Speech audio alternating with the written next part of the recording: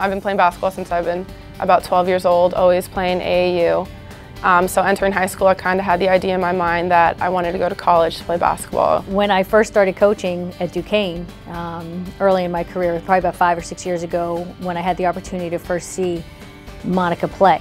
Uh, we tried to recruit her while she was playing AAU during the summer. I had watched her play so many times and loved her game. I was in my volleyball season and a girl on my team sent a recruiting video out to Pitt Volleyball because she wanted to get on the team there.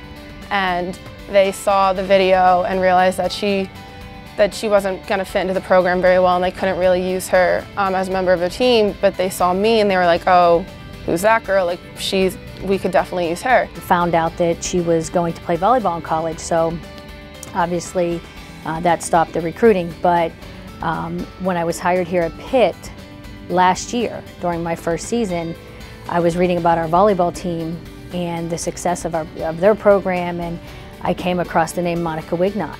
And I said, there cannot be two Monica Wignots. Now Wignot puts it through right down the middle.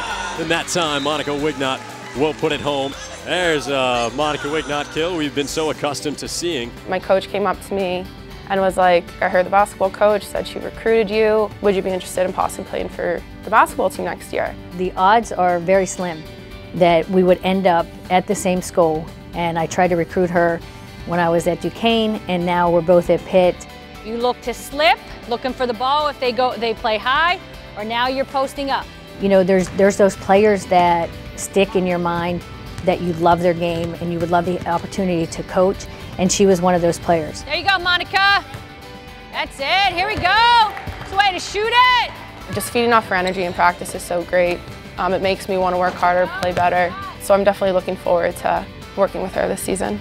She will be a difference maker and we're excited about what she brings because it's the versatility that I expected to see from her that I saw when she was in high school.